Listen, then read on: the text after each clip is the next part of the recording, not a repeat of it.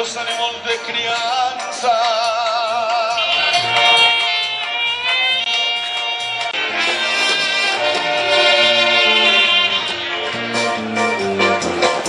A las once de la noche.